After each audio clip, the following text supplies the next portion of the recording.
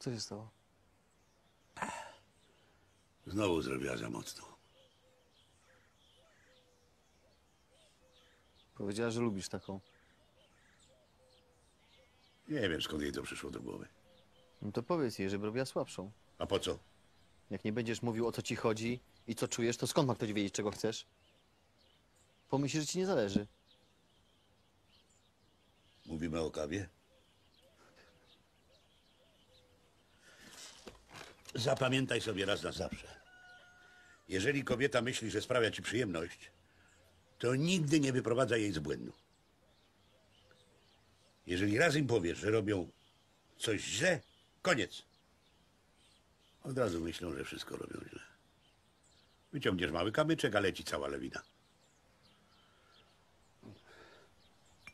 Mocna kawa wcale nie jest taka zła. Każdy powinien wiedzieć, co robi nie tak. Jak coś ci nie pasuje, to musisz to mówić, chyba to jest kontakt między ludźmi, nie? Rozmowa. Trzeba rozmawiać. Dalej mówimy o kawie?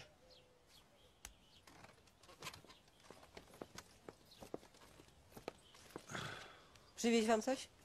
Nie, dziękuję. No to jadę. Przepraszam, Tak?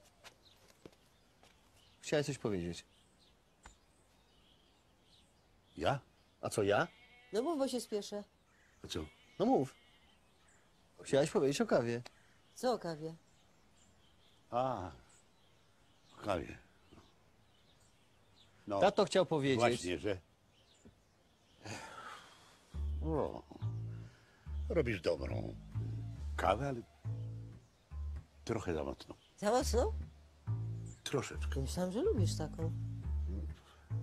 No bo lubię, ale nie aż tak mocno. Dobrze. To następnym razem zrobię mniej mocną. Naprawdę? Oczywiście. O Boże, To wszystko? wszystko. Super. Zobaczymy się później, pa. Pa.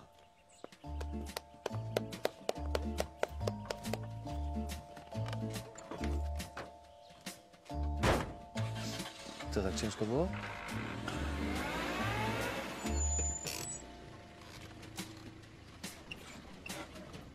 Czy jest jeszcze coś, co nie spotyka się z akceptacją waszej wysokości?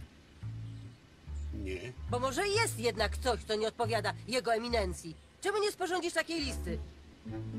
Może nie tylko kawa ci nie odpowiada. Wanda, Tak, robisz świetną kawę. dziękuję.